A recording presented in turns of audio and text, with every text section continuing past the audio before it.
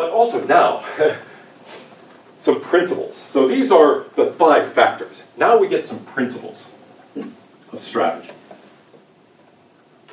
And then when we look from Sun Tzu to more modern things, we'll add to his list.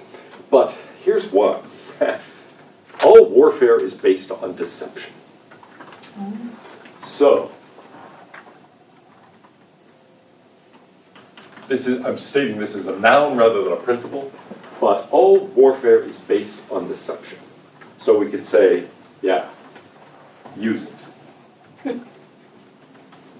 now that doesn't sound like a good thing to say in an ethics class. but on the other hand, there are occasions where deception is not only moral, but actually what you ought to do. It's life or death.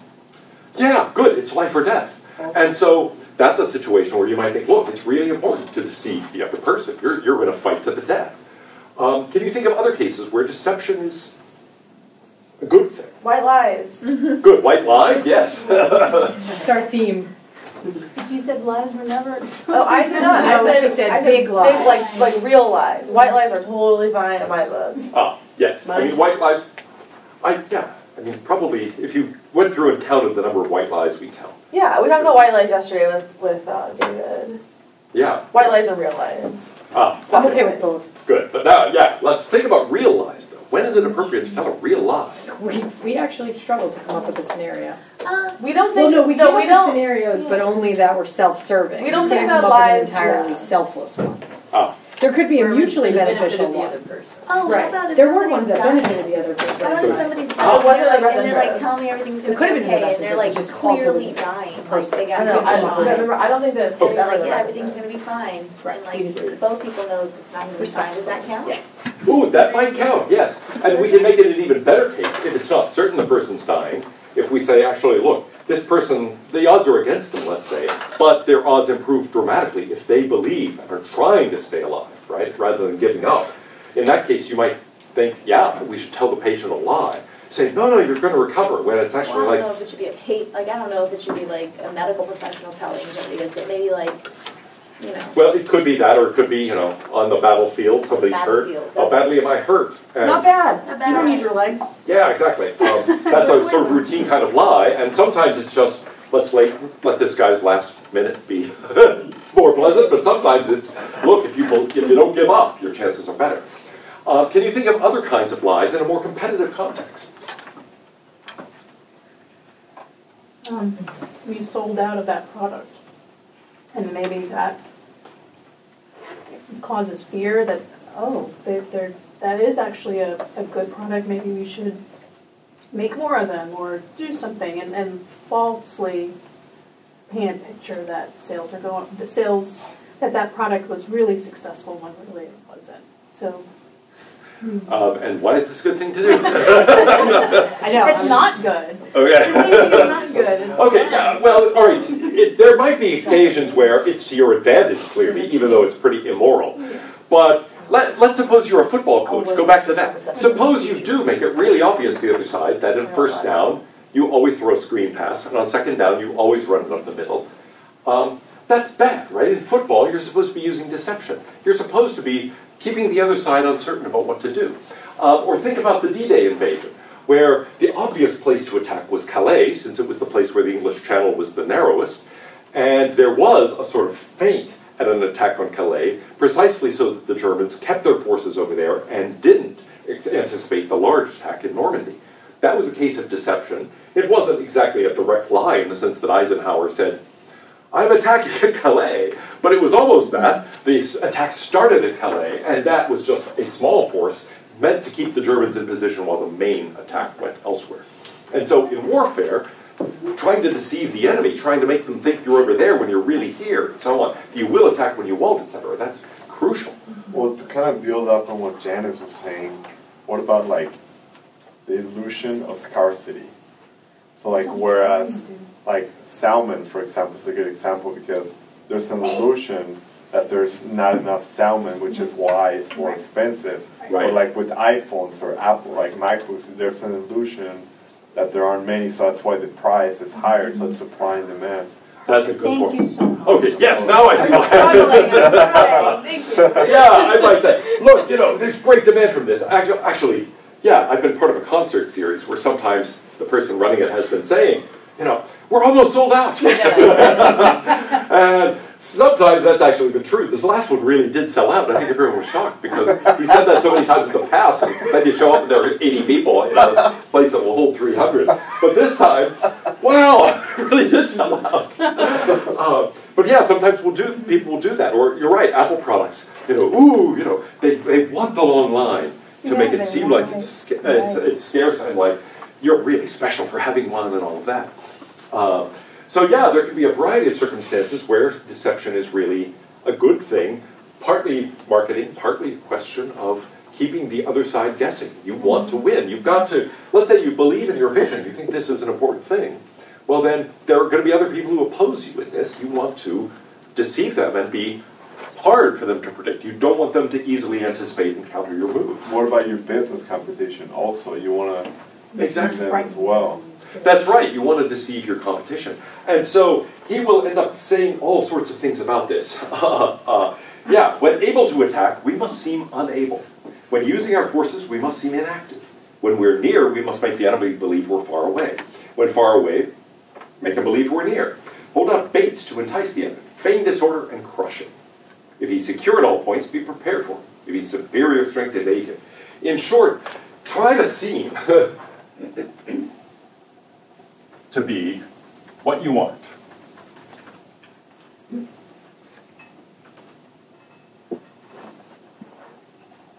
Historical example Eisenhower, actually. He cultivated this image while he was president of being kind of a lackadaisical president, of barely doing the job, of golfing a lot, of taking a lot of afternoons off, and so on. In fact, he woke up every morning at 5 a.m. So by the time the rest of the White House staff arrived at 9, he had already been working for four hours. And so if he went out and played golf at 2 or 3, actually, think about that, he had already put in a really long day. Um, but he kept that a secret. Uh, almost nobody knew. In fact, Richard Nixon described Eisenhower as complex and devious. and when Nixon describes you as complex and devious, man. Um, but this was part of what Eisenhower learned in being commander in World War II. Seem to be what you aren't. And used that to his political advantage. Seem to be concerned about this when you're really going for this other objective over here. Seem to be goofing off and not exerting much energy when you're really working very hard, and so on and so forth. FDR, he would never have a picture taken below the table because he was in a wheelchair. That's, that's right. There's this one photograph of FDR sitting in a wheelchair with a, a kitten on his lap, I think, and a, beside a little girl.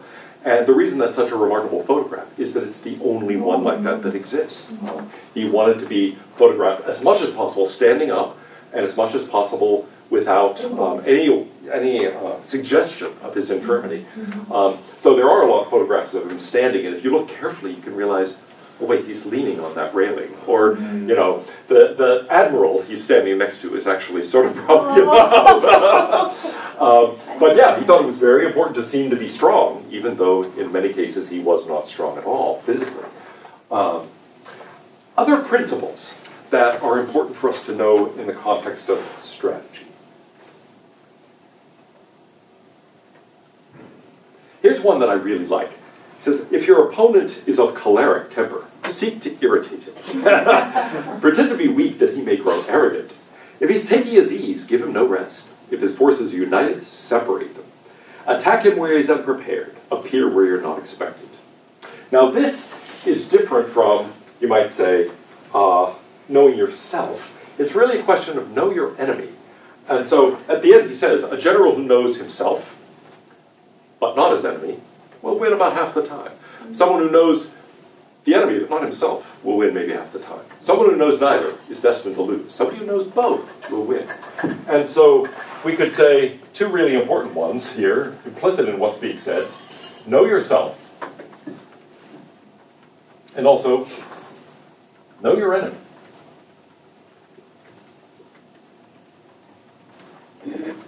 And now, this the idea, if your opponent is of a choleric temper, seek to irritate it. I mean, it's like one of my favorite maxims myself. Keep those unbalanced people off balance. okay? It's like, look, yeah, I mean, if, if this person's a little unstable, make them even less stable. Um, you know that person's prone to anger, piss him off. Uh, if you know that per- person doesn't really respond, you know, then uh, hey, take advantage of that and so on. So, in short, I think it seems to me basically take advantage. As opposed to trying to change the person? Yeah, oh, exactly. Take advantage of your opponent's weaknesses and tendencies.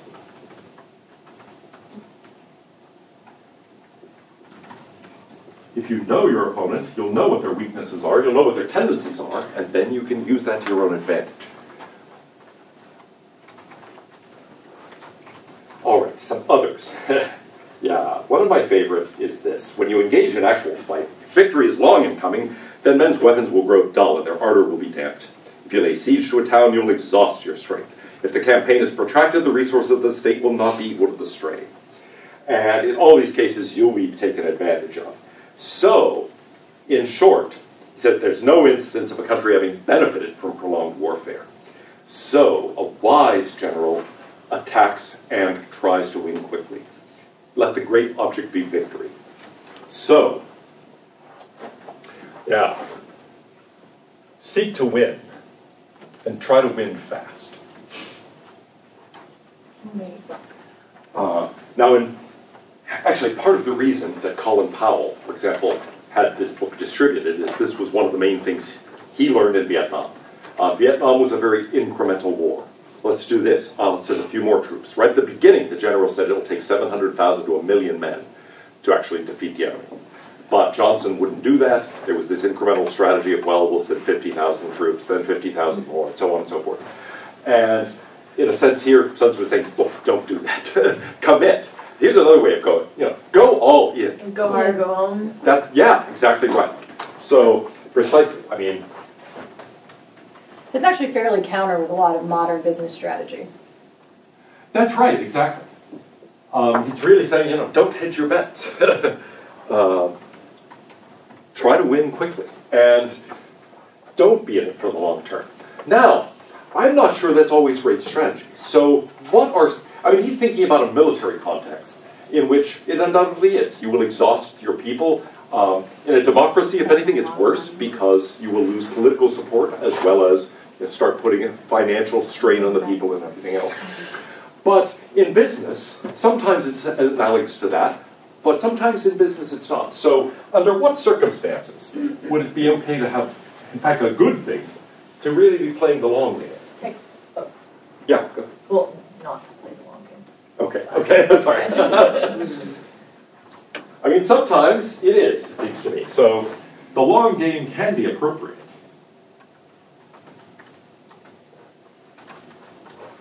Um, in fact, it wasn't it Zhou Enlai who, when asked about his reaction to the French Revolution or what he thought of the French Revolution, said, It's too early to tell. Um, it's like, yeah, it's only been 250 some, years. Some companies, some companies think take the long game. For example, Google. Google doesn't sell its products right away. Like he, they give away most of their products, like their Gmail, um, the search engine, and everything. So they they want to acquire, like most tech companies want to acquire a great number of users, like Facebook, Right. and then they'll uh, monetize it afterwards. So like Ah, Facebook good. is a great example where like they want to have a bunch like billions of users and then they'll monetize or Twitter even by selling ads. So they're playing the long haul. Right. Yeah, Okay, Google's good. literally one of Google's like googly principles or whatever is actually fail fast. Fail fast. Oh, interesting. Okay, yeah. Mm-hmm. That's well. That's a good point. One way of taking this is to say, look, give up on things quickly. Have a long-term objective. Stick with that. And if you do things that don't help you achieve it, drop those quickly. But on the other hand, the ultimate goal is one that requires. I mean, suppose you. I'm embarrassed to admit this, but if somebody had come to me and said, "We're going to do what? We're going to create this search engine and give it away for free," or "We're going to do this social networking thing and give it away for free," I would well, that's very nice of you. What a philanthropist. I, I see no way of making money out of that, right? And I got to admit, I still don't get it. Yeah. I mean, whoever clicks on those ads on the side, I don't know. I don't, I don't even look at them. No one clicks on them on purpose, but people click on them all the time because No, they then- get in your way. No. But they also generate based on like your interests. So like the ads you see and the ads I see are completely different. I've noticed that. And on Facebook, and on Facebook there's a lot of tricky, because a lot of the posts are just in your news feed and they're, That's they're exactly, both they're sponsored and you're like, sponsored. and then you like realize you didn't like it or whatever. Yeah, no, I've, I've noticed partly, partly because I used to get all these things for playing the bass. You know, it's like ooh, bass lessons or bass guitars and all this stuff.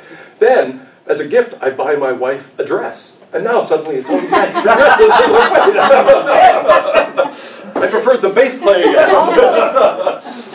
I actually think it's super creepy. Yeah. It is creepy. It's like, how do they know? What Gmail does, that like on your emails, they read your Yeah. emails and they give you ads based on your email. Oh, yeah. yeah. I should start sending myself emails about things I want to see. Pulling the words out of They're pulling the words out of your Not that email. they're reading what you compose. Well, no person's reading them, but the algorithm is reading Yeah, them. that's right. That's really No, I'm interesting. telling you. It's creepy. No, it's weird. But the thing that Google does, I mean, the thing that Google does with uh, their advertising is a little bit different though too, because right, you think that they're just gonna put ads on the side, but really what it is is the thing you're searching for also has an ad. Like they have their AdWords is Oh, such right. a high business for them. Yeah, right. And right. most of the Google time, is an advertising company. That's- yeah, and most of the time, like the advertising on Google is an ad for the thing that you're looking for. Right, like so their algorithm is a little bit than Facebook, where it's like relating what you're doing. Uh, Yeah, right. on Google you're actually searching for something, whereas on Facebook. Yeah, sometimes the AdWords are competition for what you're searching for, but usually the thing you're searching for is also still there. Ah, right, right. yeah, Okay, yeah, interesting. Yeah. All right, well. Anyway, neither here nor Yes, there. sometimes anyway, the long game is the thing to play. It depends on your organization and what your objectives are. Um, in the military, your objective is to win and go home. Um, and In higher education, that's not the case. that's right. It's like, what would it mean for UT to win? It's like, yay, all Texans are educated. We quit. it's not like that, right? So of course we're playing a very long game. It depends on what your objectives are. And so I guess one way to look at this is it depends on your vision. You have to understand what the vision is and what the time frame is that that imposes on you. And sometimes that's something that can be, and in fact is best accomplished quickly. Sometimes that's something that really is a very long term. Okay, so an example, a real life example would be if you're launching a product or a service, but you need to, um, um, crap, I should know the term for this. Um, you have to Acquired. like massage the market kind of. You have to there's no term for it, but you have to get the market to want the thing that you're launching, but they didn't know they wanted before. That's a long game. Create. Ooh, uh, that's right. Demand. Yeah, yeah, there's a- yeah. That's right. There are all sorts of products where people didn't even have a concept of that. I mean, some things are easy, right? People think, ooh, I really wish there was something that did this, and then you introduce that. But sometimes you've got something that's so dramatically new that nobody, like actually a tablet, right? As a, it's this sort of thing that's halfway between a phone and a, uh, a laptop. Nobody had an idea, and initially nobody thought, "Ooh, I'd like to have a thing like that." You people had to sort of, you know, create a certain demand. Um, iPads were at an early stage given to a lot of UT faculty. Uh, partly the university did that, but partly Apple partnered, gave us a great deal, and so on. Basically, because they wanted us to be to realize this is a cool thing. And indeed, I've got to admit now, I, I almost never use my laptop. I just use that or my desktop computer, depending on what I'm doing. And so it was a case of playing this long game. And initially, you know, giving these products away or selling them at cost to school districts and universities and so on to actually get people to see what this was. You become addicted to it. And then you become You're like, addicted. I have to have it. That's right. Now my daughter has two, for example. uh, and so, so yeah, exactly. I mean, it's the sort of thing where you you have to do that, and that requires. culture. That's right. You have to develop a certain culture in a lot of cases. I mean, universities are like that. They have to develop a culture where education is valued, where people then at other levels start saying we have to prepare people for university and, and that type of thing. So it does require a big change that happens over a long period of time. A political party might, might be like this. The political party might think, well, I'm not going to accomplish my vision in five years or ten years. Um, I've really got this generational thing, or maybe multi-generational plan, and you know, uh, I'm working on that long game. So it all depends on what you're trying to do. If you're trying to eliminate poverty, let's say, it wouldn't make much sense to say, well, yeah, let's you know, go hard or go home. no more poor people in five years. Uh, that's not going to happen. but if you think, look, we want over the next 50 years to change things and lower, po- yeah, exactly, change structures so the poverty rates decline dramatically and so on. Well, Then- and like that kind of thing is, is a long game because you're not like ending poverty is not as simple as like oh everyone gets a house. here or like a homelessness. Everyone gets a house. You have to like teach people about that like lifestyle. It's a long, it's a long process. You can't like teach a man to fish. He eats for a day. That kind of thing. Well, okay, good, yeah. So anything that involves changing people's behavior tends to be a long game. Now, sometimes people will, you know, respond quickly to incentives, but most things that involve a real change in habits, let's say, mm-hmm. aren't like that. We want people to stop smoking. It's not like we can say, "Hey, quit." Quit smoking and we'll pay you hundred dollars. There was a Um, that won't work. In fact, a bunch of people will start smoking so they can quit and get the hundred dollars. A lot of them won't be able to quit, and so you'll probably increase smoking doing that. Uh, really, the better thing to do is to try to gradually change habits over time because they are habits. Um, it's not like in a company. Let's say a lot of people are taking other people's lunches from the refrigerator. Um, that's probably a fairly easy problem to solve. It's not really that people. I don't know, it was a real big issue in my sorority house. Yeah, I was. Uh, as I gave the example, I realized, wait, in a few cases where I've known this happen, it's actually a really hard problem to solve. So maybe, but yes, the more it has to do with character and not just immediate decision making, the harder it is, and the longer term the vision has to be.